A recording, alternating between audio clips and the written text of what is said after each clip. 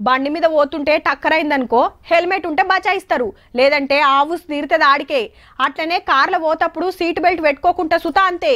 జలపాతాల కాడ జాగ్రత్తగా లేకున్నా షెర్లు కుంటల్ల లోతు తెలివక దిగినా ఈత రాకుంటే అంతే సంగతి.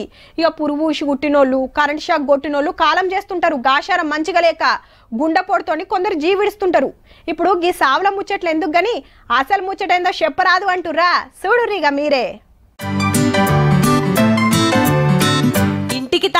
ఆఫీస్కు తాళం దుకాణానికి తాళం మెడికల్ షాప్కు తాళం వైన్స్కు తాళం ఆఖరికి పెట్రోల్ బంక్ సుత తాళమే.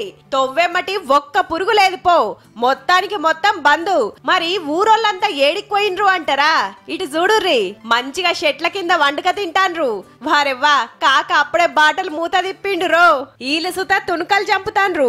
వాళ్ళ వంటలు ఇంకా కానట్టున్నాయి ఎవ్వల జాగలాలు పురుసత్తుకున్నారు.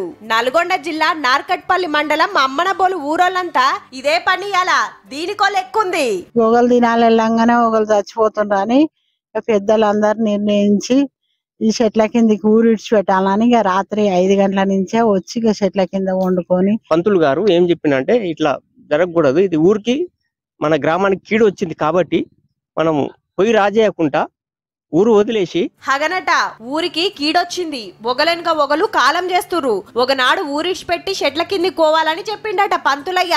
ఇగేముంది? అందరికందరూ బాయిల కడిగి చేరిండ్రు. ఇక చికెన్లు మటన్లు వండుకొని తిన్నారు. గీ టెక్నాలజీ కాలంలా కీడైందని మనకు అనిపిస్తుండొచ్చు గాని ఎవ్వల నమ్మకాలు అల్లై మళ్ళా.